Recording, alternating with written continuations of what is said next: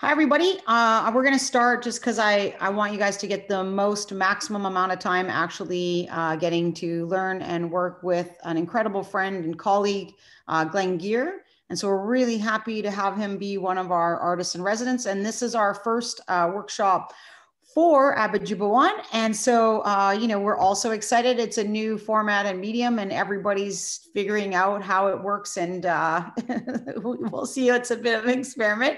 So bear with us today because uh, it's all new on everybody's uh, radars and then how to actually work within the framework.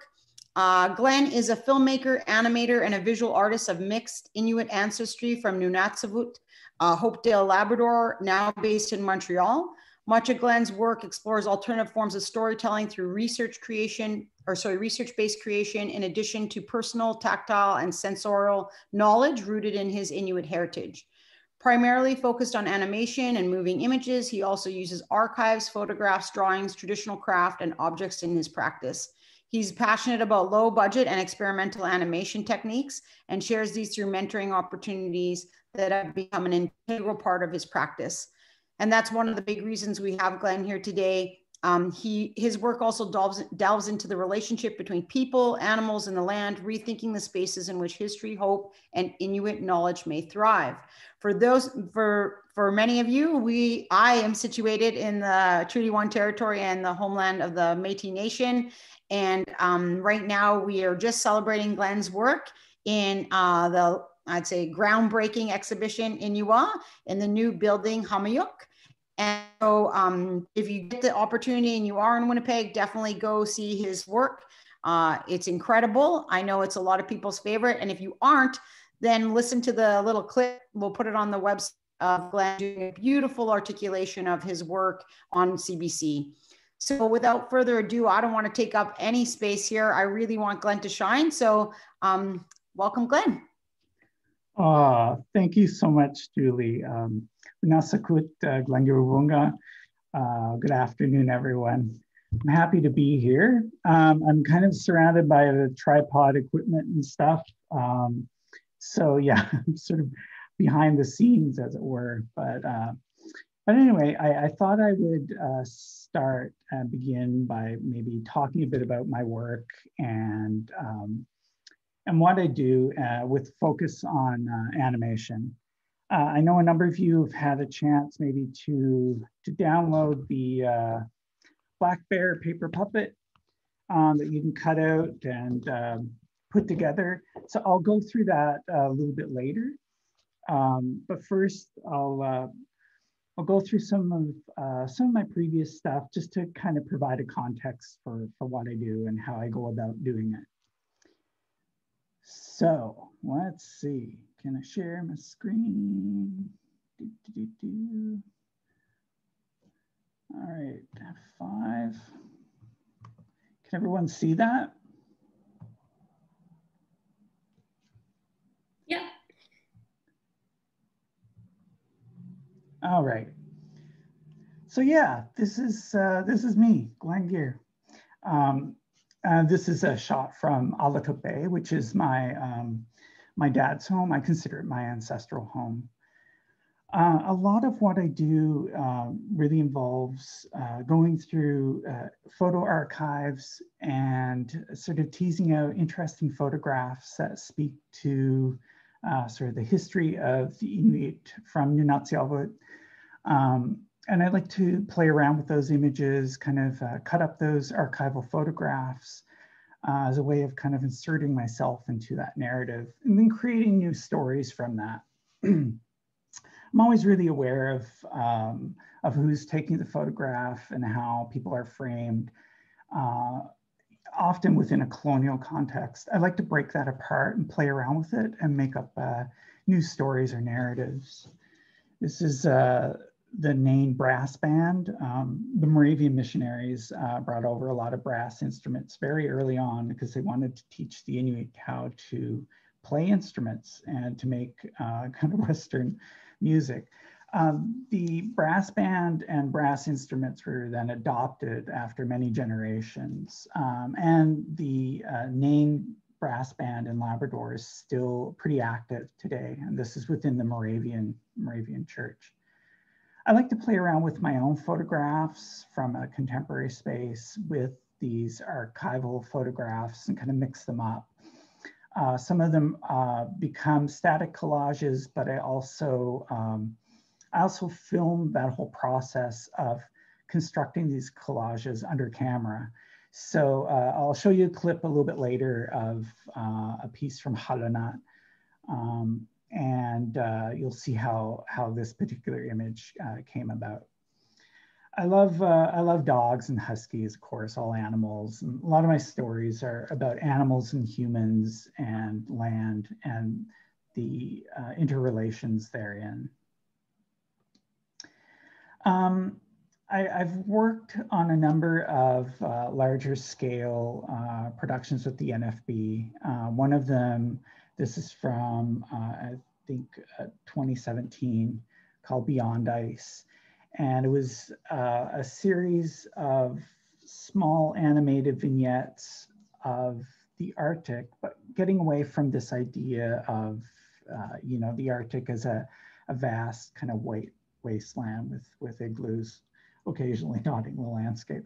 So we were thinking about the idea of ice and um, a kind of cosmology or stars and um, these images were projected onto real sheets of re real pieces of ice. It's a complex sort of reverse refrigerator system where ice is built up through frost in the air to create these huge slabs. So this is a permanent piece in, excuse me, the um, Museum of, of, of, Nature in Ottawa at the uh, Canada Goose Arctic Gallery.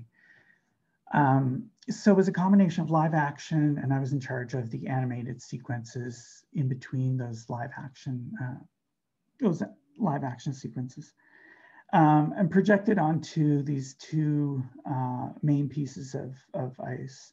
And kids love to get caught in the middle of this. It's really fun for security. Um, I love this piece. It's really fun. You can see handprints on the, the right-hand side. Uh, kids often will go up and press their hands in and continually uh, melt the melt the ice. Um, this was uh, uh, this was in Banff, I think in 20 uh, what was that 2018, and yeah, um, 2018. yeah, th thanks, Julie. I have no concept of time. it's, it's even worse now. This was a, a series of, um, I was working on this idea of this ghost dog and thinking about uh, the history of, um, of the dog call that, that happened across Canada in a lot of uh, Inuit communities and how the, the dogs are killed outright. So these spirit dogs uh, kind of came to me in uh, a kind of uh, animated form. And I, I, I, did what's known as a run cycle often in animation, you do a walk cycle or a run cycle, and that can be looped. So I have this, uh, this running dog kind of wolf shadow figure that was, uh, I, I, did the drawings out of um, uh, campfire charcoal. So it's really soft. It was a campfire that we had at the residency, I think on the first night, kind of gathering. And I, uh, I asked if I could if I could take some of the charcoal and, and I made the, the, these drawings out of that. Those drawings became the basis for further drawings and investigation that became animated. And I have, uh, have these uh, running dogs, which I think of as kind of these spirit dogs, but as part of a, a dog team. So this is uh, Kimutsik, or this became the prototype for subsequent pieces that, that were known as uh, Himutsik, or um, sled dogs. Um, and this was part of Memory Keepers, which was in 2019 um, as part of a short residency uh, at Concordia University with Glam Collective. And uh, this is a group show that we did for Nuit Blanche, uh, which is Montreal all-nighter. And it was really fun to have, uh, to have this this big charcoal dog kind of running on the side of a building in context with other contemporary Inuit artists um, who are doing uh, other animation and installation and sound-based projects. Um, this is uh, more animals. You'll probably notice this bear. This bear comes up a lot Um, and uh, this was a, a, piece that I, I did uh, last year called um, Karangak, which means together, like. Um, and uh, it's set to traditional Inuit throat singing. And I'll show you a clip uh, later on. There, all these uh, animals from Nunatsiavut that are kind of singing back and forth to one another, rocking back and forth in kind of rhythmic action. So taking this archival um, audio and kind of reinterpreting it in a, in a very contemporary uh, sort of way and a, a, way that's that's really light. Plus, I, I lots of sort of luscious colors and uh, beadwork, which is um, something I'd like to be doing more of right now, and I, I probably will get back to beadwork.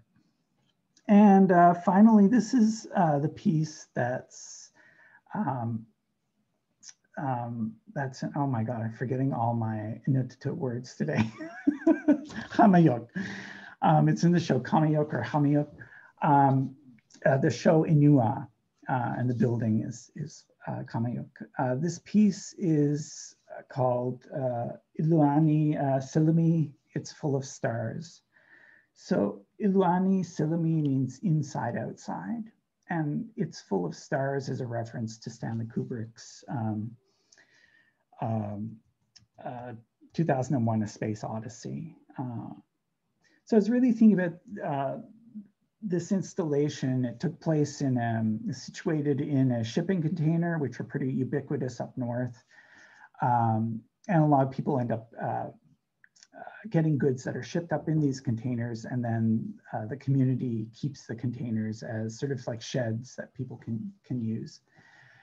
Um, and I decided to, uh, to install this large mural inside um, uh, that kind of wraps around. Uh, there are two sides, one set in the past, one set in the future, and they meet in the middle with this giant eye or oculus into which is projected um, video, which contains kind of fractal animations um, alongside um, alongside live action footage uh, up the coast of Labrador. So uh, on the left-hand side, that's an origin myth uh, about how the Northern Lights came to be from Nunatsiavut. It's very much linked to uh, Labradorite which is a mineral, a semi-precious stone found in Labrador. And, uh, and on the right-hand side, there's kind of a Jetsons-inspired, um, optimistic kind of future. Um, and on both sides, there are different uh, star maps, constellations that are um, from uh, Inuit sky lore. Uh, so there are other stories kind of embedded in the stars in the scene. Um, and the, uh, the, the coastline goes from uh, the sea ice, uh, thinking about uh, moving inland with some of the trees, thinking about Labrador coastline, and then finally going into the Torngat Mountains. Um, so yeah, this is probably a, a detailed shot of the origin of the, the Northern Lights, and then these fractal forms that are uh, animated and kind of moving um, alongside um, the drum beat and the music of, uh, or the sound of uh, ocean waves are kind of crashing. These are sort of field recordings that I had done while I was in Newfoundland, Labrador. Um, and a lot of the footage I kind of collected over the past I guess, 15 years or so, edited into this, this circular uh, projection. Um, oops. Oh no, I can't go back. well, that was a really brief, uh, a brief, brief the other side, um, the Jetsons esque. Anyway, I do a lot of mentoring, uh, teach people how to do uh, stop motion animation. I'm here with Pasha Partridge her first uh, animation that she worked on went on to garner a few awards. Um, it debuted at uh, imagineNATIVE, and it was a piece that was about her namesake and where her namesake came from. and her connection to her Inuit culture. Um, so I love, I love teaching people new techniques and really making things accessible. And this is a very do-it-yourself set up, you know, in, a, in an hour or so. And Pasha worked on this piece for a number of days and then uh, learned the animation process, learned how to edit, did the sound recording, wrote the script, did the storyboard, went through the whole process. I'm here with Courtney Montour, who uh, was working with us as one of the mentors. And these are some kids in uh, Sheshatshiu, which is an Innu village um, in uh, Northern Labrador. And here I'm getting them to, to make uh, phenakistoscopes, which are early um, uh, kind of optical illusion motion machines uh, before the advent of cinema. Uh, so sort of showing them the fundamentals of where animation comes from and then getting them to work on, on characters uh, after that and getting them to work on scripts. So really thinking about uh, community, building capacity, uh, demystifying uh, technology and processes and to make things really accessible and down to earth. So that's it. Nakummek, thank you so much. That's just a brief introduction to, to what I do. Let me stop sharing here. Oh, hello, so good to see people.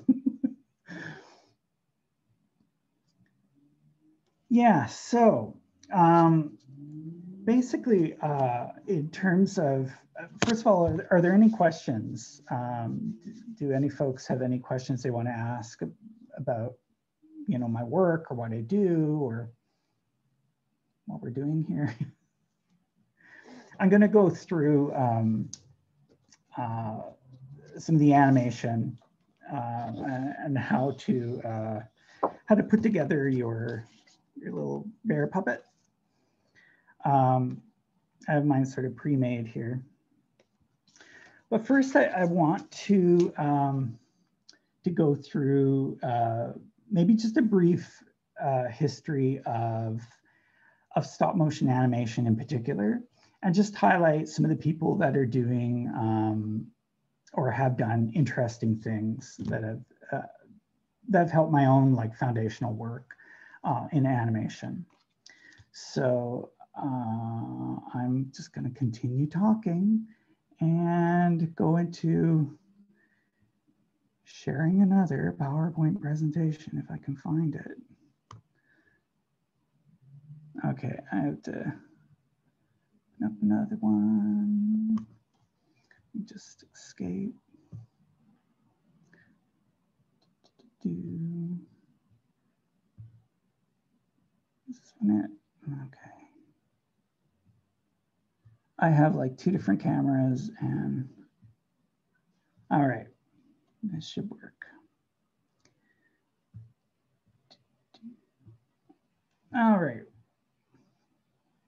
there, F5. All right, can everyone see that? Yeah, that looks great. Okay, great. Um, yeah, so in thinking about um, uh, animation, I mean, the early optical illusion toys uh, like the thaumatrope, the phenakistoscope, those were the things that I was getting the, uh, the Innu kids to make. Uh, and the zoetropes, those were all, they all worked on uh, sort of the persistence of vision. So the idea that uh, your vision kind of will stay on an image for a while before it's replaced with another one. And so uh, if the images occur uh, quickly enough, there is uh, this kind of illusion of smooth movement that happens from still images in sequence really quickly. So um, the early uh, thaumatropes, I'm sure we've all done this. We've, you've had an image either on a stick or a piece of string. Um, there's a bird on one side, a bird cage on another. That's sort of a famous one. And you twirl them really quickly back and forth and uh, the bird is in the bird cage. And that's what you see. Um, the phenakistoscope works uh, a little bit similarly, although you're looking through slots, you can only see part of the image, and then the image is replaced with the one next to it. so uh, although it, it's hard to sort of see in this animation here, if it's moving quickly enough, it looks like the, the horse is running, the horse and the horseback rider and the acrobat's moving. Same with the, the zoetrope. Um, I, I have one in the closet. I tried to get it, but I couldn't, couldn't find it with the rest of my junk.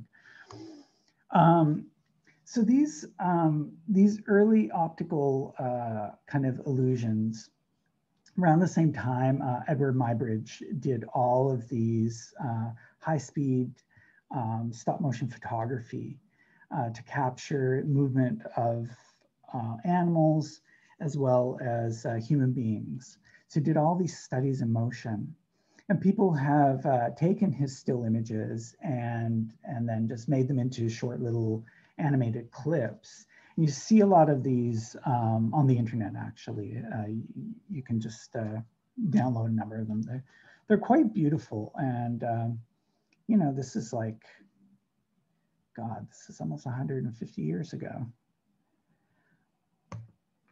Um, by the same token, um, those sorts of investigations into optical illusions and um, pre-cinema that sort of thing. Uh, flip books became really uh, became really popular and still are popular today as as as an interesting things. We, we would take our math books and draw little pictures, you know, because our math books are pretty pretty thick and uh, really boring and you know when you have ADHD and you know you need you need stimulation you'll you'll draw your little flip books in the corners of your your math book so all of this just uh, sort of leading up to uh, what became stop motion animation. And I'm really thinking about like early pioneers like, um, um, oh my God, my brain has gone blank. Um, Voyage to the Moon. Um, it's with him. Anyway, it'll come with me, come to me at some point. All these early forms of uh, of investigation into to stop what became stop motion animation uh, really uh, crucial to in, in, kind of shaping like early cinema and that that kind of experimentation. So what is stop motion animation? I mean, it's also called stop animation or stop frame animation. It's animation that's captured one frame at a time, sometimes with physical objects that are moved between frames. And when you play back the sequence of images rapidly, it creates the illusion of movement. So um, you might have seen Gumby. Um, certainly, you know, Nightmare Before Christmas. These are all different forms of stop motion uh, animation. Uh, and I, am just going to go through like the various forms. Uh, silhouette animation was one of the earliest forms that really um, that really became uh, popular. Um, uh, Lotte Reiniger uh, is, an incredible uh, figure and very influential in, in her style of, of animation and the whole process. And she's often credited um, uh, with the adventures of Prince Ahmed being the first uh, fully animated uh, feature-length film. And it's interesting to think that she was doing all these um, all of these uh, stories and these animations, and I think a few commercials as well, at the same time that Walt Disney was developing his style and uh, his production company and working in, in, a very different way, in a, in a more uh, hand-drawn cell animation uh, kind of way. Uh, Lotte Reiniger actually, uh, I think one of her last films, last couple of films, she worked with the NFB here in Canada. So she came over and she did some color uh, sil silhouette based work um, at the, uh, I, I, think at the headquarters uh, here in Montreal, uh, which is where I'm based. I've seen some of her puppets, uh, her real puppets, and they're fantastic. They're just made out of scraps cardboard. They're backlit in her animation. And um, yeah, really wonderful to see. It's like she was reusing old cereal boxes, whatever she could get her, her hands on. Uh, Norman McLaren uh, became really important um, as a pioneer with different forms of animation, in, in particular pixelation. And um, pixelation is basically uh, often using um, the human body and animating a person frame by frame, not in live action, but of taking sometimes vast amounts of time between each frame. It, it creates a very surreal uh, kind of staccato look uh, for animating a human being.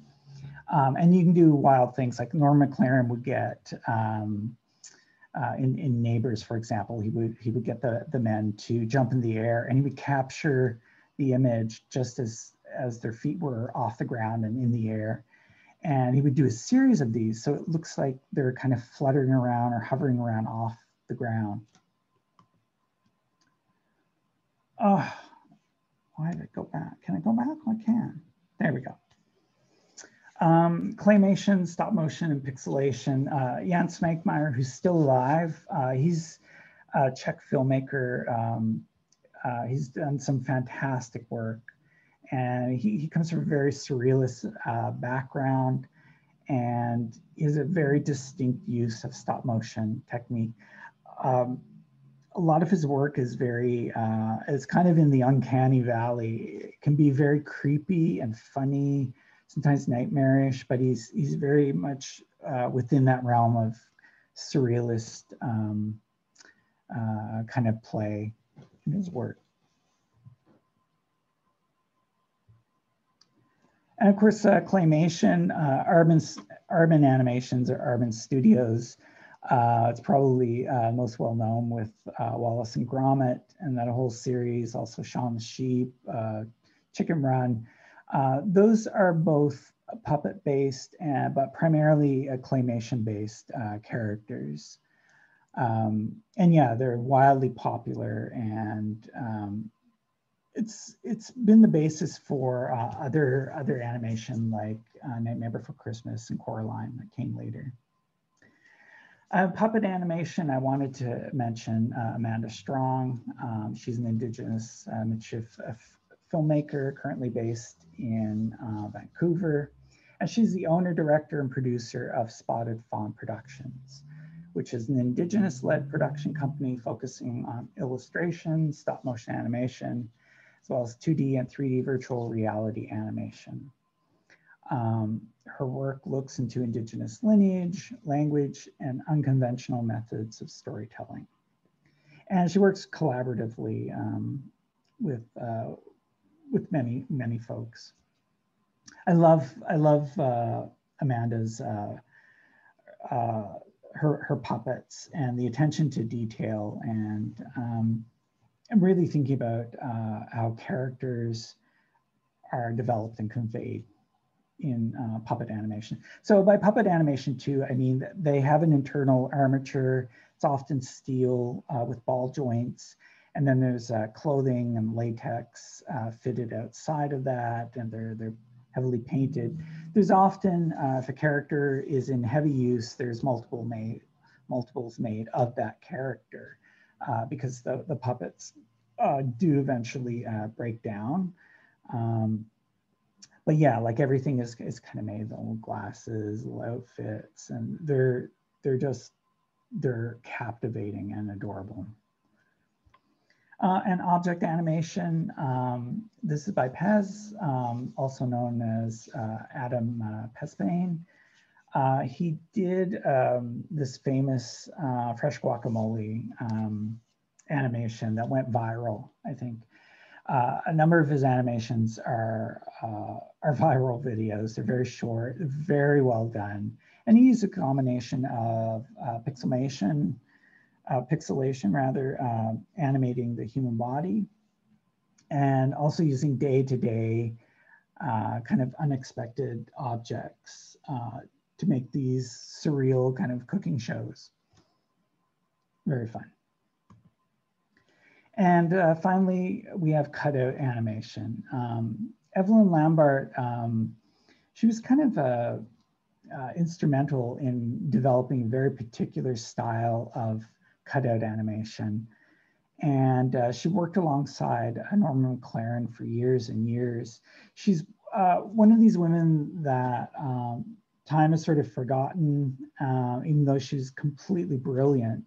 Uh, she's kind of eclipsed for Norman McLaren for many years. Her work is kind of uh, resurfacing now, and there's more work uh, being done around uh, just how much she's contributed to uh, cutout animation in particular. She did a lot of uh, wonderful um, fairy tales, um, and sort of uh, children's stories that had uh, moral implications. Kind of, yeah, kind of like storybooks, animated storybooks. Right, so in thinking about uh, that brief history, and it's by, by no means exhaustive, um, I wanted to just throw out there, you know, what tools do we need um, to make stop motion animation? Uh, so I try to keep things very simple. I mean, uh, and very low budget. I mean, do what you can with what the tools that you have. So a camera smartphone is really important. Uh, smartphones are great because just about everyone has one. And they often have adequate cameras to at least get started. And some of them are quite, the cameras are quite good nowadays. A tripod is great. It's not essential, but it's really it's really good uh, if you want a steady shot. There are other ways of uh, compensating if uh, for um, a kind of shaky a shaky camera. Um, there are tools available, or you can just go with a shaky aesthetic if you're doing handheld. I've done that too. It can be quite fun. Lighting is really important because lighting is basically uh, it's lighting your scene. Um, generally speaking, if you're shooting top down, which is what you'll be doing with the bear puppet, uh, it's important to have um, strong and consistent source of light. Um, today I'm working with daylight, but I do have a fill light that's uh, that's kind of bounced off the ceiling. A kind of flat, even light is often best for collage-based work or uh, paper paper cutout stuff. Often, if you have a harsh light, um, it's going to reflect and cause glare. Um, editing software, I'm going to show you Stop Motion Studio and kind of go through that. But basically, if you're familiar with any uh, non-linear editor, um, you know, it could be Final Cut Pro, it could be um, uh, Premiere, you, as long as uh, you can create a, an image sequence. So as, as long as your camera will take subsequent pictures that are numbered, uh, which most cameras do by default, uh, you can take a whole series of pictures and then import that whole package into, into your nonlinear editor and it will treat it as, as a movie clip. And then you can set your um, your frames per second and um, and go from there. So stop motion studio is not uh, needed, but it's one of the more cheaper options. It's I think there's a free version and then to buy it outright, it's like $4.99. Um, and then you need puppets, materials, and objects. So uh, the Black Bear paper puppet is a jointed puppet pretty articulated. Uh, you get a lot of movement out of that guy. And, um, but you can also uh, have unjointed puppets. So puppets that are just cut out pieces of paper or cardboard um, that aren't jointed. Uh, you can still move them around. It's just uh, can be a bit more free form. Um, and certainly with the um, collage based work that I often do, um, my puppets are just pieces of people or animals or things that I bring into a particular scene. So basically to making your own do-it-yourself stop motion video, um, these are some, some I think uh, six sort of guides. It's like find your setting. So establish where your camera is going to and then ensure the setting or backdrop fills your frame. So it's a, just about framing your shot and keep the camera focused on what is in frame and uh, not letting um, uh, the outer edges encroach on your shot. Also not letting your shadow get in the way of what you're doing, uh, unless you want that. Um, fix the lighting. Again, try to keep your uh, filming area away from natural daylight. Natural daylight, even though that's what I'm using here today, it will shift. It will shift radically. It will warm up and cool down. Clouds come. It's it's hard to find a consistent um, consistent lighting with daylight, even though I love using it. Um, often I will try and use it for uh, sh very short animation. Um, but having dedicated lights is, is really the way to go. Keep it steady, um, you know, have, um, have a good solid tripod, make sure everything is kind of uh, locked down.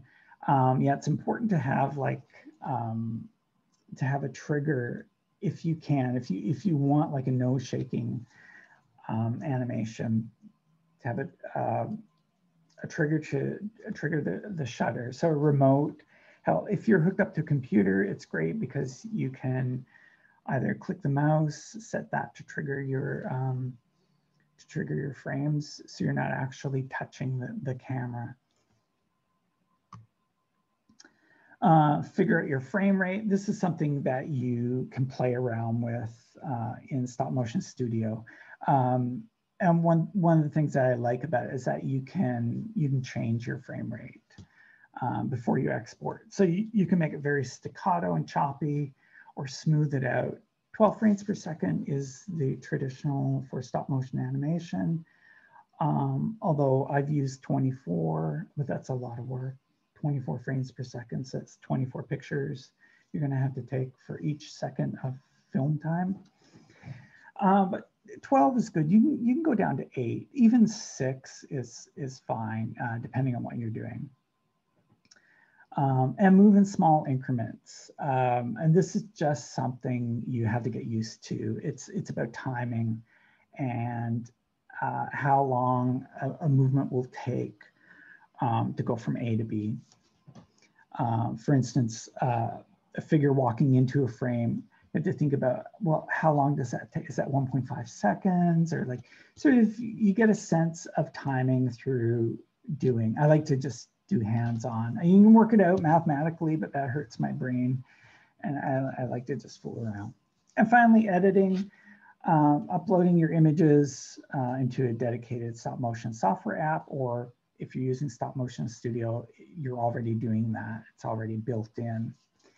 And then um, adding sound effects or music, um, and finally exporting uh, that edit.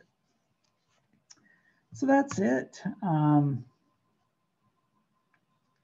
that's sort of a, a, brief, so many words, you know, these, such a PowerPoint presentation. um, I get, I get bored with, uh, with reading words um, in presentations. So and see if I can switch to, um, see if my software, is it still working? Oh yeah, it is. Um, I was telling Julie early, earlier that I'm using the desktop version of Stop Motion Studio.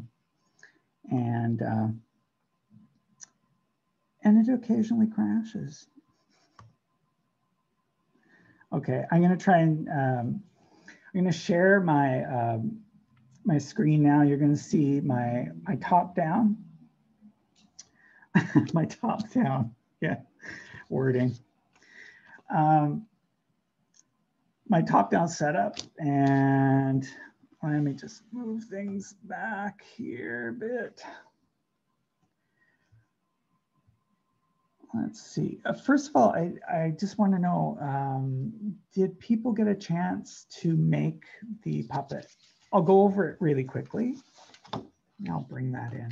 Let me just share. There we go. Okay. Can everyone see that? Yep. Yeah, it looks great. Okay. Um, yeah, so this is uh, this is my top down kind of uh, have a webcam directly above me. Um, this is the paper puppet that you can download the PDF and print out. Uh, I printed out on heavier cardstock. so yeah, you can just uh, cut the pieces out carefully. There's a link um, actually, I don't know if this will focus. Yeah, it won't. anyway, if you download the PDF, there's a link to a video that you can watch and I will take you through the interface of Stop Motion Studio. I won't reiterate it here. I'll, I'll go over the basics a little bit. Um, but yeah, once you have your, um, once you have all your pieces cut out, um, you can start putting them together. And um, I use these brads, these uh, fasteners.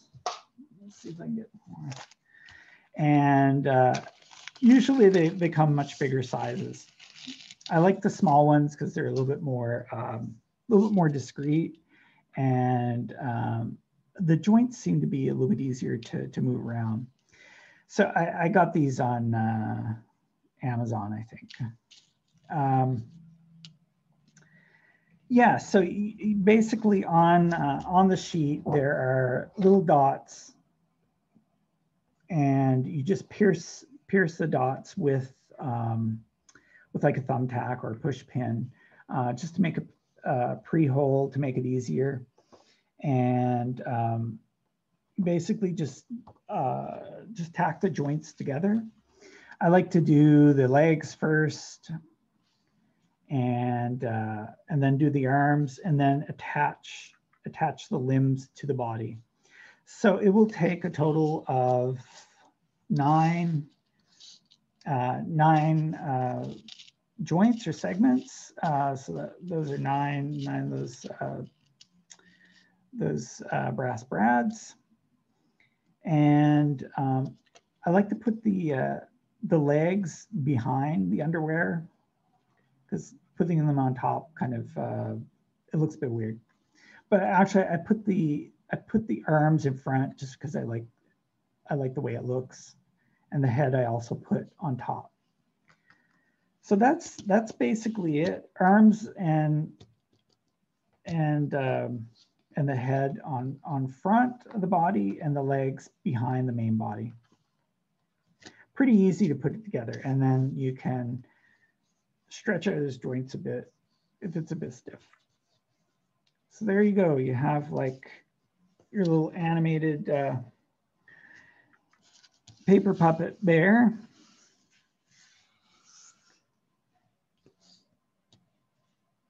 And let's say, should I should I try making a little scene? Trying to actually get down to animation? Yes, yes, yes. oh, yeah. Absolutely. I know. So often, um, first of all, uh, paper puppets, they want to, they, they have their own, um, they have their own personality. They want to move a certain way. So I like to do test animations um, like getting character to kind of maybe squat or maybe wave, move uh, in and out of frame. So that's a good way to start um, any animation. I mean, before even getting into a storyboard or thinking about a story, it's like, okay, what, what can this character do? And think about uh, maybe uh, entering a frame, doing a little something, and then exiting a frame that's a good way to, to kind of start and, and think about it. So um, in terms of the interface, uh, the big red button is basically going to cre create a frame. And there you have frame with my, uh, my arm in it. Um, you can uh, easily go back and select that and just backspace, backspace and delete, delete that frame. Um, huh, wonder if my, I'm gonna take another frame. I think my camera, is my camera awake? Yeah, okay. Yeah, fun thing. This uh, webcam sometimes will go to sleep, so uh, things get frozen. Um, anyway, I'll just roughly go through uh, the interface. Um, uh, right here is uh, just the number of frames. And uh, rewind back, uh, big red button, of course, is to, take the picture. I think you can also uh, just uh, click on it with your mouse if you don't want your if you don't want your hand in the picture, like this. Um, and uh, the timer is is interesting because uh, you can this is something you can set up and it will take a picture, say every five seconds with a counter, a countdown, 10 seconds, right up to like 90 seconds.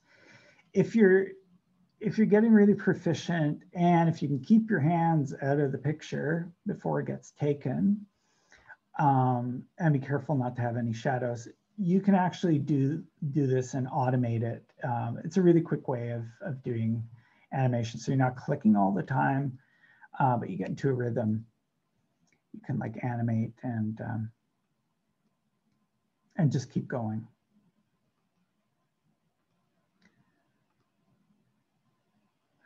All right.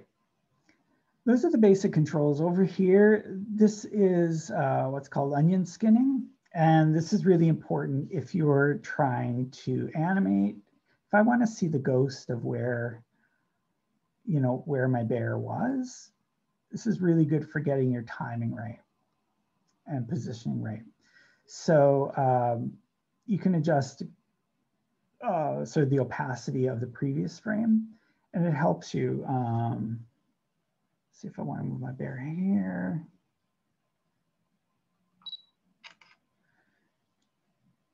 Move them sort of the same increment again. Sort of again. Do, do, do.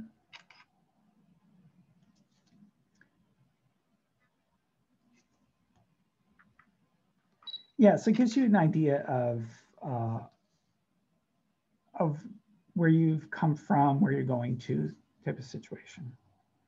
Um, onion skinning is something that um, I, I, think it's an, a, an old carryover from when the onion skin, wasn't actually onion skin, but it was like tracing paper. It was called onion skin. And um, animators, you had often a lead animator and then um, you had an assistant animator or a tweener, in-betweener uh, that would do the in-betweens of the major um, uh, of the major animation moments. So, so the motion was broken down into big sequences and then the small little inter intermediate sequences were done by the assistant animator or the in-betweener.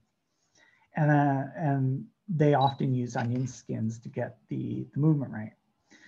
So uh, press on the playback, get a sense of that.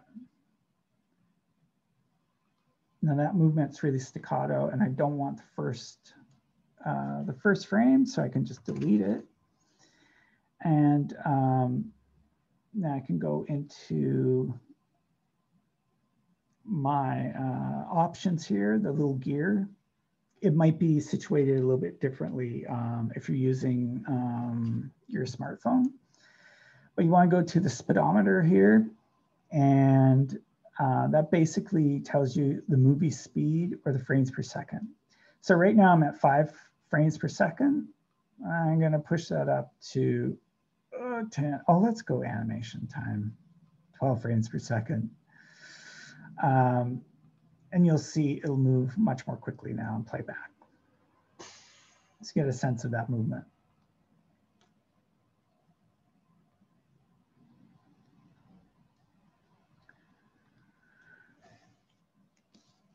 So what, what can we have our guy doing? Let me just turn on onion skinning again, give you guys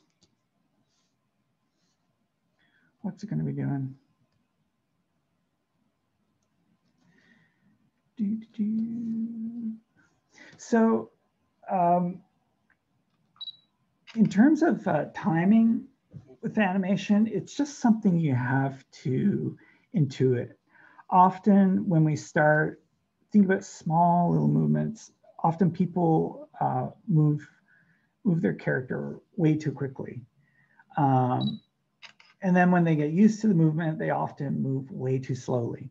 So it's it's trying to find a uh, a happy medium, someplace in between, and um, and I find even with myself, like if I've been not animating for a while, I'm rusty. I'm like my timing's always off, and it's the same for all animators. It takes them a while uh, to get back into a flow or a kind of rhythm. Now, what's neat about um, an articulated puppet is that you notice like I'm pulling on the, like his hand joint, it's moving everything below it. It's kind of like a built-in, what we call inverse kinematics. So uh, moving like the end bone moves the rest of the body. And I'm also holding, holding him down so he doesn't wobble all over the place, but he's gonna wobble anyway. so I, am just doing a little animation here and seeing what we can do. Do, do, do. This guy wants to do. Maybe I'll get him to juggle afterwards, who knows.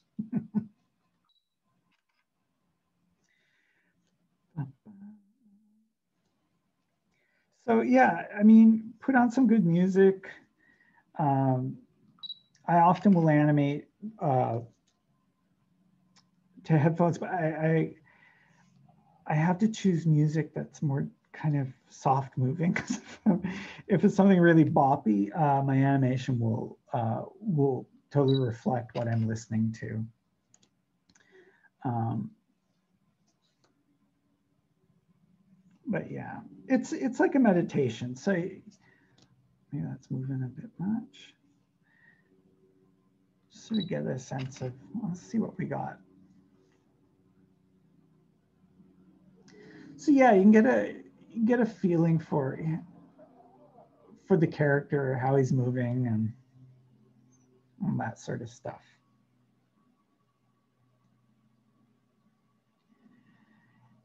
And yeah, it's fun to sort of scrub through, um, sort of see how it's playing. So it's it's good to it's easy to review on the fly. Like if you want to see, I'm like, oh, maybe I don't like that foot there. You can go back and and uh, take out um, take out a sequence, or you can insert your camera. Are you going to let me insert you? or insert your camera. Oh yeah, maybe it won't. Well, you should be able to insert your camera um, wherever you need to. And um, see if I can take a picture now. No. Anyway, normally you would click this. Uh, you can insert your camera wherever you need to. If you need another frame, and uh, you can go back and edit. So the idea is that you can take uh, a number of pictures, but you can go back later and take out a frame and redo it carefully and you'll be able to see um, you'll be able to see your ghost your onion skinning to help you with the new frame. Um, and uh, yeah so so that's it. What else can I get my, my little guy doing uh, also, feel free to like move your camera closer or back.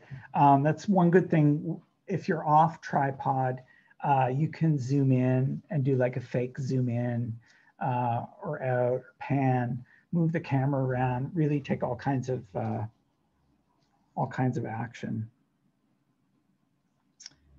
Let's see, what are we having you do?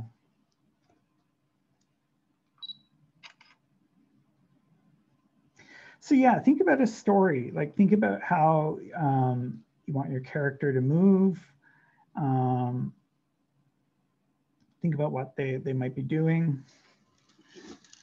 Uh, what's my bear doing?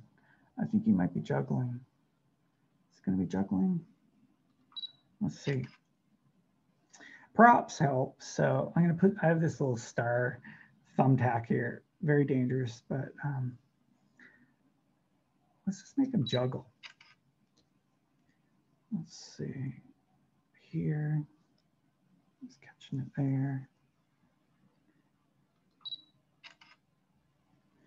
One, two, three.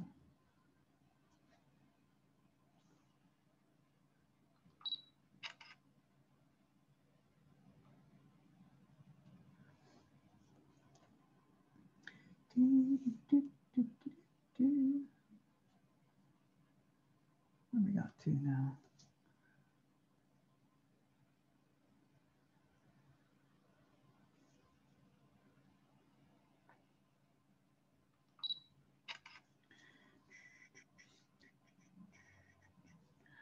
What's that other one kind of coming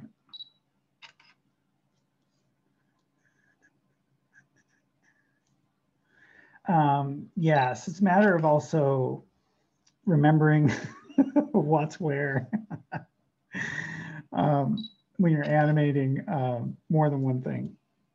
Let's see.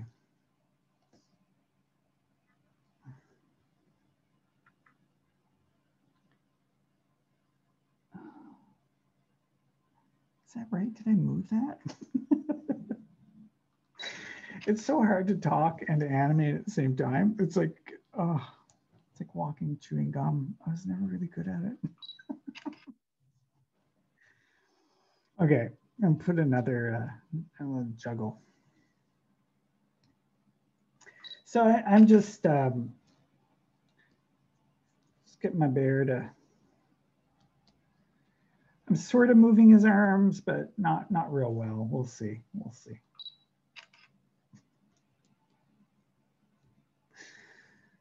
Oh, the rusty animator.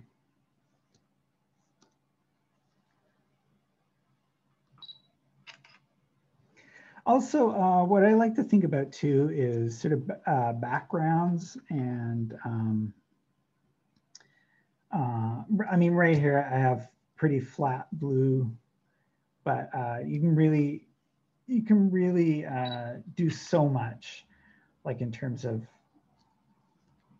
adding all kinds of texture. Um, and it doesn't have to be paper. I mean, it could be cloth, it could be wallpaper, it could be you know magazines, all kinds of stuff. Um, I'm just going to go through real quick. It's like the worst animation ever. Did I move that?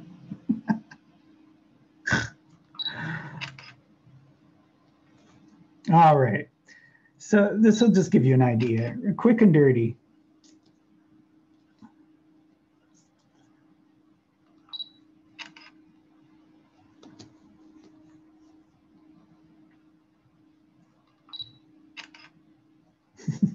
my hand in that shot. oh Lord. Do, do, do, do, do, do. Um, even the best of animators, like in old films, always get a thumb thumb in there or um, in one frame. And if uh, if you look hard enough, you you can see like the animator has like a little thumb there. Um, they're human beings, and we rush sometimes. Um, and of course, like for my um, for my collage based stuff, I want my hands in there. So I, I, want that to be part of the process that you see that there's a human being making the piece. So it might be, it might be something that you absolutely want, you know, to show your hands in the animation. If so, um, I would say go ahead and set up your time increment, uh, put it to five seconds or 10 seconds, wherever you're happy with, and just uh, go to town. It's, it's um, gonna be really fun. So what I'm doing now, I'm sort of finishing the animation, but I don't want it to just stop. And I'm just gonna give a tiny little bit of movement to the bear for a few frames. Um, and that's that's a way of what we call easing out. So in terms of animation, we like to ease into the movement, just um, kind of started a little bit slowly and then gradually spill, build up speed. And then kind of, and not abruptly in space, but to kind of taper off really softly. Um, also, if your character is just uh, standing still, just take a, a bunch of frames of, of him or your character uh, moving a little bit just to give it a little bit more life to um, to your puppet, especially if it's a, a, human or animal. We're never never completely still. We're always a little bit in motion. Okay, let's see what this guy looks like. So there he is, juggling. Oh my God, he actually juggled. so there, there you go. I mean, it's sort of an easy thing to do. Um, and, uh, you know, if I was to finish this off, I would probably have him just walk away or exit, or maybe um, just duck below. Always think about your frame and what it's framing, uh, where your edges are, and how your character can move through a scene, or what's the important action within that scene. And uh, again, be really aware of uh, your shadows. Even when you're off screen, you can cast shadow. Um, and if you're animating pretty close uh, next to your set, which I am, don't wear a white t-shirt because you're reflect you're going to reflect light onto your scene and you'll get really inconsistent um, you'll get inconsistent background kind of lighting. I've done that so many times. Luckily, I don't have a whole lot of white um, shirts and stuff, but uh, it will reflect. Or if you have a scene that's um, that's uh, very muted tones and you wear like a red top and it's a brightly lit studio, that red's going to reflect onto your scene. So just be careful, careful of that. I tend to wear like dark clothes anyway, so um, so yeah. Anyway, so that's that's the bear. Um, have fun uh, and really think about you know what your bear can do, and you know maybe it's I don't know Pilates or yoga or something. Who knows? But um, I haven't. I, I, only made this little guy uh, yesterday, so and he's moving differently from the last one that I made. And uh, anyway, what's great about these characters is that uh, if you make them, um, you take a picture of them and reprint them. Uh, so, you know, when, uh, when, when one fails or rips apart or gets buckled up or, or used and abused too much, just print out another one and, and uh, um, make the same character again. Um, I have I have more vintage, um, vintage characters here. Oops. Sorry, Mr. Bear. Let me just go to the end here. Yeah, let's take a picture of them. So um, these are made with um, with the big style um, uh, brads, these paper fasteners. And uh, you can find these patterns online. Actually, what I'll do, Julie, I'll, I'll, I'll, I'll find a link online uh, for these uh, traditional characters because the, the joints are limited, but they're actual vintage paper puppets. And um, although I'm not sure if they were used in animation, they're more like uh, sort of novelty items, but it's, it's kind of, uh, it's kind of fun to to have like other characters that you can, you know, animate. And think about like a dialogue or um, a scenario where two characters interact, not just one. Or maybe there's something in the environment, uh, like I did with the juggling. You know, I mean, the character is kind of interacting with those star-shaped thumbtacks, but they they read as you know, juggling ninja stars. I don't know. um, so yeah, I'm just gonna I'm just gonna stop sharing so I can see people again. Back to the the realm of the uh, live action and moving people. Um, are there any questions? I know I've talked a lot, and uh, if you have any like specific, uh, oh, I haven't checked chat. Uh, I think in the chat we just did. Oh, okay. So Julie's asking if the you can if the desktop version crashes, would you recommend using the app version on a phone or an iPad? Yeah, I would. An iPad would be great. I've and I've um, I've used this this app uh, on an iPad with with uh, with kids, and it's pretty stable. I feel like the uh, the iPad version or um, uh, the iOS and the Android version um, are more stable for some reason, or may, maybe it's just my computer. Uh, but it's also me. I, I when I get stressed, I, I cause computer crashes and glitches. It's it's my superhuman power that I have. I also cause printers to jam. I don't know why, but if I'm really stressed out, I can cause any printer to fail. Um, yeah, so in terms of animation, there's only so much I can show you. Um, and I realize it's it's a little bit boring, but um, there's a real joy that comes from taking the time to see how your uh, paper puppet wants to move. Because sometimes the joint seems stiff. It's like you have an idea of how it might move, but the character wants to do its own thing.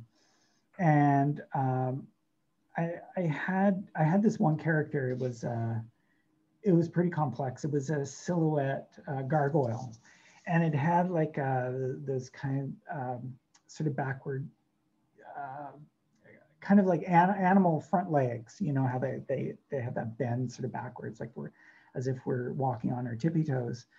Um, and I, I, I, had so much trouble animating this this paper silhouette, and then I realized it wants to move a certain way, and there was a spring. There was almost like a, a kind of saunter that uh, when I I did a simple walk cycle, I wasn't expecting at all. I'm like, whoa, this character wants to move this way. So I had to follow that. Like I, I can't have preconceived notions of what I want to do. But um, but those are things you find out from playing around with with your character and what, what it can do and you know where you can go with that. Um, mm, mm, mm, Okay, so do you recommend still attempting animation, stop motion work, even if you are an artist on disability with minimal funds and only have access to outdated, slow technology? I'm all about the outdated and slow technology, totally. Um, I think it's doable. Like, I've had kids with broken, broken phones uh, that were able to still animate, and they didn't have a tripod uh, I think one guy just ended up duct taping it to the side of a desk, or, or no, he put it on a shelf, overhung, overhung his uh, smartphone on a shelf, and then at, had his little scene on a shelf below, and just animated away. I say just have fun. I mean, you can make great things with cheap things. Um, and with uh, outdated technology even. I'm all about that. Like you know Halana, one of my main films uh, i didn't have access to equipment. I think i shot the whole thing in 720p it's not even hd it was done just four years ago. I could have updated everything but i didn't have the means. And um, and i didn't have the time and you know what it worked it worked for the piece so I always say use what you have, and if you're really passionate about it, um, work work within those limitations. Um, yeah. So I would I would I would encourage you to just uh, have fun with it. Um, yeah, I've made some I've made some great stuff with um, um, with stop motion studio, just uh, fooling around. And um, what's really fun is just uh, animating objects. Uh, what I used to do is have a whole bunch of clear glasses and uh, move them around, take my frame, take take my pictures, my hands out out of the frame. And so it looks like the glasses are moving around. Then I would slowly fill them up with water. So it looks like the water magically is rising and then pour it out and it looks like it's magically going down. So there's lots that you can play around with, not just uh, paper puppets and collage based animation, but with objects that you have um, in your environment. Um, yeah, so, and I, I love working with messy stuff too, uh, not just puppets, but, um, you know, collage, sand. Uh, I work a lot with uh, bones, seal skin, um, glitter, beads, anything that's sort of lying around, you can make it into a picture or a scene. Um, so yeah, I, I, would just, just say, um, yeah, stay open to the process and just keep exploring. Uh, that's what it's about. And, you know, ultimately I can teach sort of the fundamentals, but the real animation is just what you do. It's the unexpected and it's the playing around. And it's only through the playing around and making mistakes and trying different things that you get good. And you know, yeah, I put in my 10,000 plus hours of animation, but really it often will take me a few days. Once, I, if I was to start an animation project now, it would take me a few days before I really start to get into a flow where I know how things are moving, I know the timing, and it becomes sort of embodied and intuitive. Um, so this is usually the point where I say, go, go make a mess, uh, go out there, experiment, don't be afraid, demystify the whole process and, and just animate with things and objects around you and junk and, and unexpected stuff. You know, when, when Pasha, uh, when she was working on her first animation, um, she decided, because she had this big piece of seal skin. She's like, I'm going to do my animation on seal skin. I'm like, oh my God, that's so difficult to light and so beautiful. And I'm so glad she did it. And she's like, yeah, I'm going to just pour these beads over here and see what happens. I'm like, that's it. And it, became this beautiful background for this whole process that she found so much joy and ultimately play in. I think as adults, we don't we don't play enough and uh, it can be really therapeutic, but also you make really beautiful things. Len, so one of the questions is, do you have any tips with using lighting indoors so that you don't get shadows? Yeah, okay. So a big thing uh, with lighting, um, uh, if you're if you're lighting uh, something that's very flat, like in shooting top down, which is what I often shoot with, have your lights coming in at 45 degree angle. So have two, it would be great if you have two that are exact same uh, color temperature, exact same brightness, and you're shooting so that they, they hit your, um, they hit your scene at a 45 degree angle. Generally, that's, that's uh, the best. I mean, there's more complicated stuff where you can polarize your lights and then have a circular polarizer on the lens of your camera if you're working with DSLR, which will cut out all the reflections. But that's sort of, maybe that's advanced. but I would say try to have flat, consistent lighting. And uh, what I usually do um, is, because uh, we have white ceilings, I'll, I'll bounce the light off the ceiling and that's usually enough to spread the light out evenly and to do away with any harsh shadows. Uh, so soft, even lighting is, is usually the best uh, for top-down collage-based animation. If you're lighting a set, of course, and you're doing uh, 3D stuff and you're working with puppets, it's different. You light for the puppets, you light for the scene. But uh, yeah, for flat stuff, yeah. Yeah. Um, let's see, I'm just reading uh, thank you for all the great advice and email. Thank you. Uh, would it be possible to share any of the artist links from? Oh yes, I will. I will put that PowerPoint together as a PDF, um, and uh, the links should be should be all embedded there, so you can actually see the works in motion. I didn't have a chance and I didn't want to risk my computer getting mad at me or quitting to follow those, those links online. Plus you get those annoying ads. So who knows what's going to pop up. God. Um, yeah, but definitely I'll share that with you. Um, Thank you. And, and I love the bear. I think he's wonderful. Thank you. cool. Well, thank you. It's so much fun to for me to share. I do have, I, I, I can do another quick demo if we have time. If But if other people have questions, I can totally answer. I, don't know. a quick demo. Can I, I ask just one? One last thing, sorry. I don't know whether on this one it has the link to the um, stop motion one. You said when you were showing yours, it looked like it had something written for a link of uh, how to use stop motion. And I wondered, can't see it on that one. We can also put a bunch of that stuff on the website, Claire. Um, yeah. We'll put some, we'll, what we'll do, Glenn, is under your profile of artists, we can put some of those links so yeah. that people have access to it. Yeah, oh, that's lovely. Thank you. Yeah, for sure. Because the, the link to the, the PDF bear puppet also has a video that's embedded that goes through the interface again. So if you didn't catch it with, with the demo that I kind of screamed through this time, you can go back and watch it. And, I, uh, and that one's more focused on the, um, uh, the smartphone app. So uh, it's a better representation of what what you actually will engage with. Uh, and I probably go through things a bit more thoroughly. Uh, so de definitely that's, that's out there as a reference. Uh, I can provide that link as well in addition to the PowerPoint. The link is also I was just so that.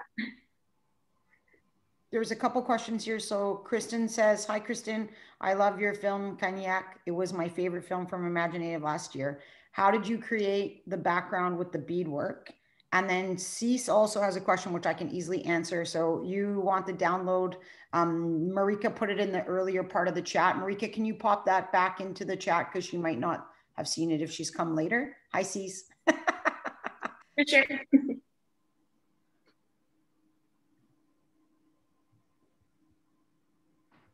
Yeah, sorry. Somehow I was never sent a link and I, I spent a whole half hour just trying to I, I thought I had set it all up and I thought I could just jump in and then it didn't, I wasn't able to find a link. So thanks for sending me the link so I could even get into this. But I'll be looking for the links. I can see the first part that I missed and uh, it's a really great workshop. Thank you, Glenn. Um, oh, you're quite welcome. So yeah, uh, and the link you can download, you can download this, -huh. the Black Bear uh, paper puppet, print it out and get some fasteners at dollar store and put it together and then animate the guy. Great. Cool. Yeah, I'm just gonna do a little piece with some felted materials and uh, I've been making scenes. And so I just was like, oh, this workshop came along right when I was wanting to figure out how to do some of the details. Um, and I, I have downloaded a stop motion uh, camera app, so I'll mess around with that. So it really helped seeing this and very clear step-by-step -step instructions. Thank you. Oh, you're quite welcome. Yeah, there, there are there are a number of um, stop motion apps out there. I mean, I, I focus on Stop Motion Studio, but there's also, uh, uh, I think Clip Studio. There's a yeah, I mean, you can basically use use anything. I've I've even animated stuff, just my camera, just taking pictures, uh, and making sure I just take a whole bunch and not um, not interrupt them with other things, uh, but then download that the, all those images into uh, Premiere and um, import them as an image clip, and then that becomes my animation, and you can play around with uh, with the timing of that and slow it down or speed it up. Uh, and that's really fun too. And that's a really quick and dirty way of, of working. Um, um, but yeah, mostly just, just have fun. Do you want to talk a little bit about the, the background with the beadwork? Oh yeah, sorry, the, the B word. Oh, okay, God. that's my job. yeah, the, uh, the ADHD is kicking in. Papa needs his meds. Oh God.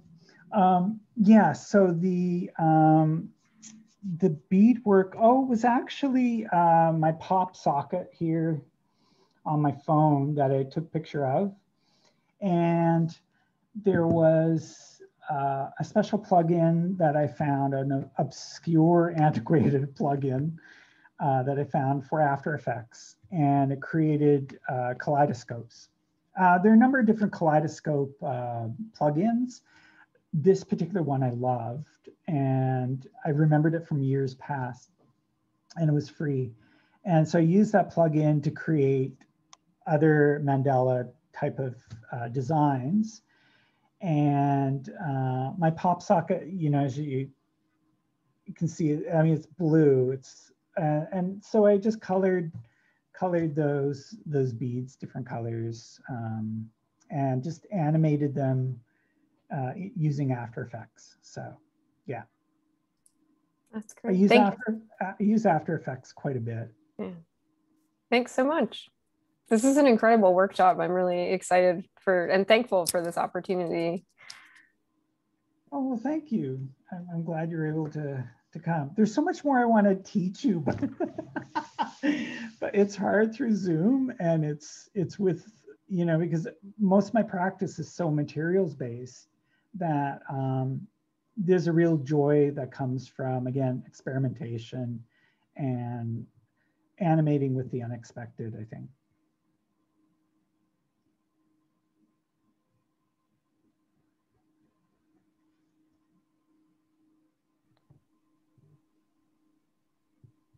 Awesome. So do you think you, um, how do you want to leave it, Glenn? Do you want to do one last thing or you kind of feel like you're ready to? No let's let's you want to do let's do something more like completely experimental and yeah. I was like let's just do it. Yeah yeah. Let me let me let me just let me see if i can share my screen. Am i still here? I'm going to just continue with uh the ghosts of christmas past um let me just take a frame here All right, everyone see that? Yeah? Yep. Okay. Let's see.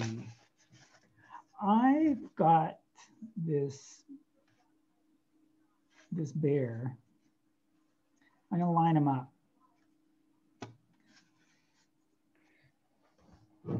But this is a technique I, I love, I love to do. And um, this is sand, by the way. I love sand.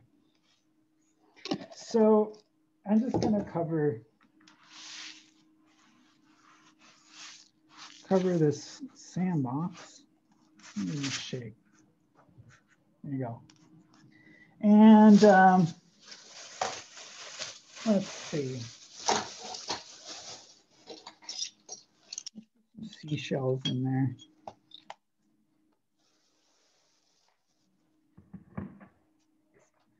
Yeah, I think that's good. All right.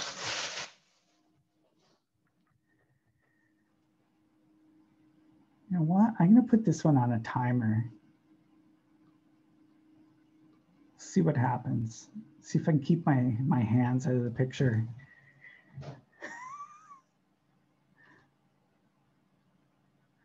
All right, should we go? Right.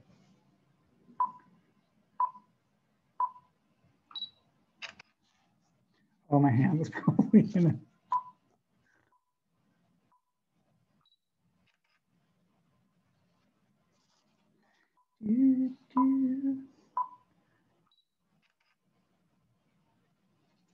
So I'm doing this sort of blind.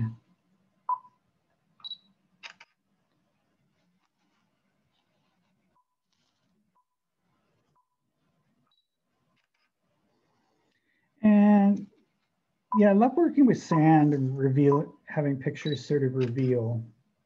So this will what this is what this will be.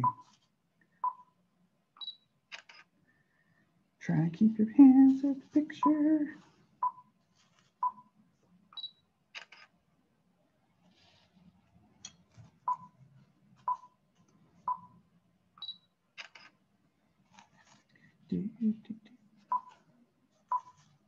You know, I love the little like you're when you're doing the thing, it makes it feel like you're actually here. oh my God. um, now this this scene I would probably I would probably light in an interesting way. I would probably add more dramatic light in addition to uh, let's just keep that there. Crap. Okay.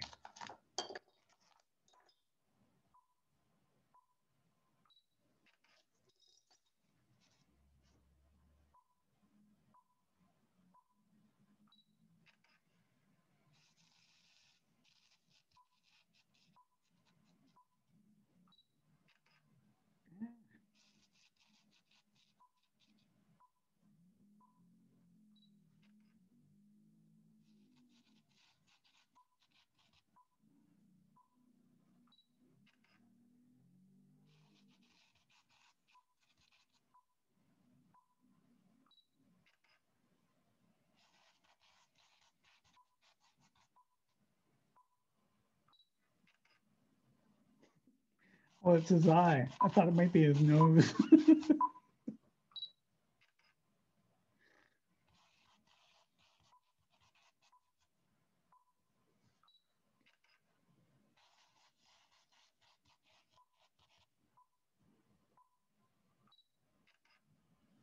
this is sort of a nice, uh, a nice way to reveal an image.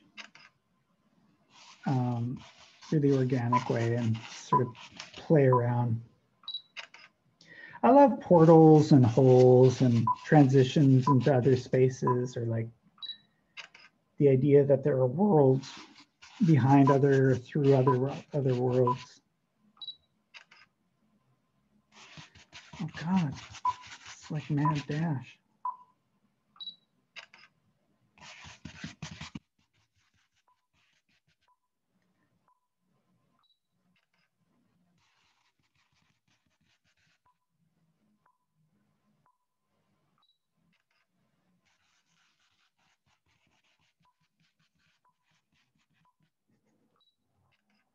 Feel like I'm digging in the dirt.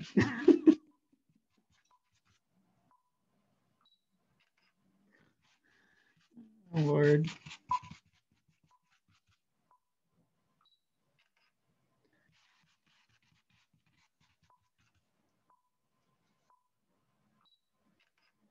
So I, I like this sort of framing. So I'm just gonna continue to move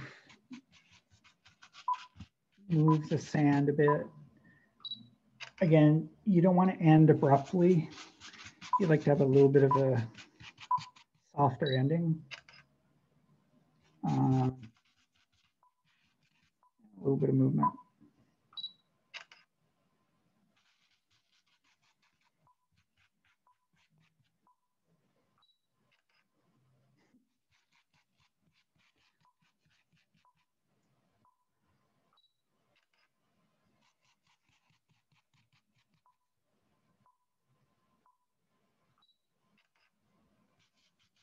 All righty.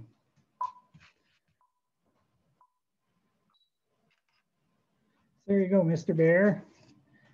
Yeah. Today's episode brought to you by Bear and the letter B. All righty. Okay, now let's play that back. Well, I'm going to play the whole thing back because I can't. it's a conversation with bears. So you can see how that that is like a whole other kind of very quick and, and easy transition to do, but it gives you a, a totally different feeling for um, for what you can animate with, like just using objects a really fun little transition.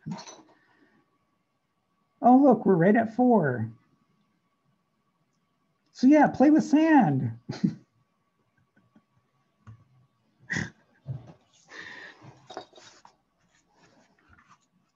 All right.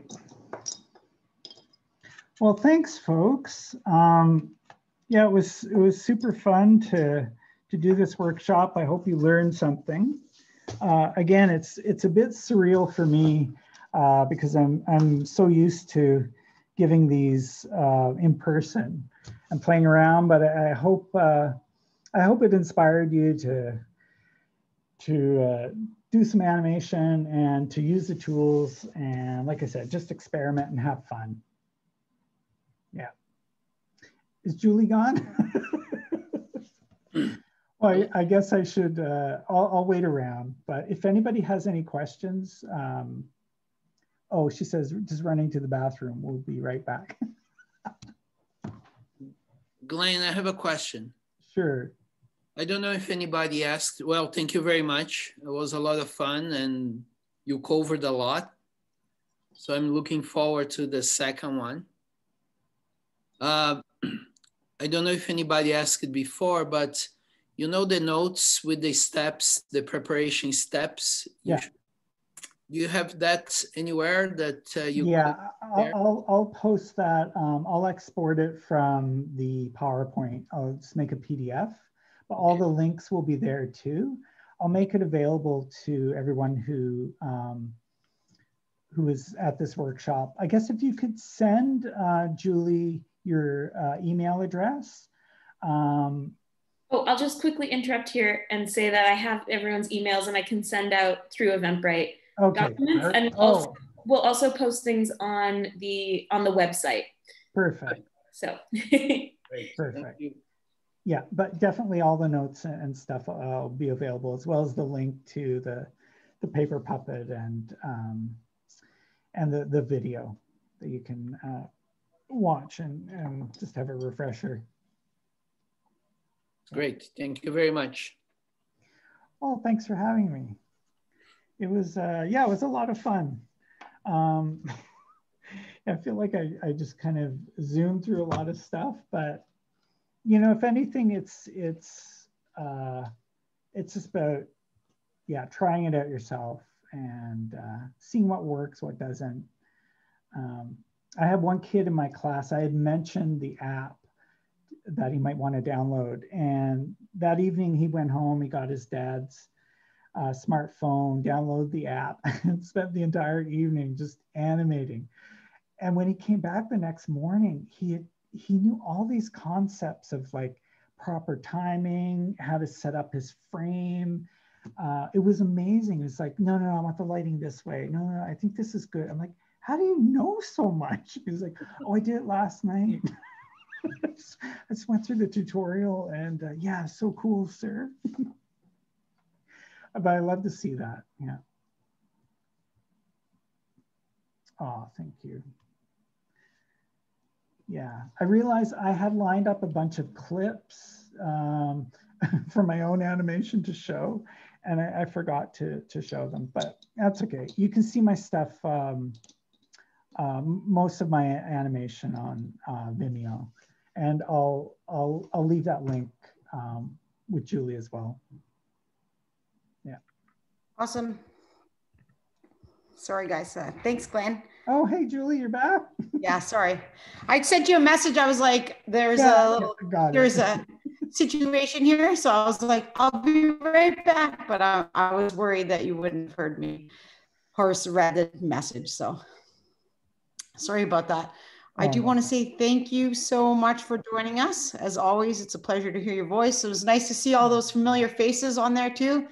Lots of people that we know and some new some new folks. And so it was exciting to launch be so much better if we were in the lab but i was like this is what it is for now. Yeah so yeah. we're really happy to host you. Well it was it was really fun. Nakummek everyone. I was uh yeah i hope you got something out of it yeah we totally did it was great all right and um just a quick little follow-up Glenn's going to do another workshop, but it will be more of an intermediate workshop for people with a little bit of experience on animation. And yeah. so that will be April 21st at 1.30. So yeah. we'll see you soon. Thanks, everybody. Thank you. Thank you. Thank you. Bye-bye. Bye, everyone.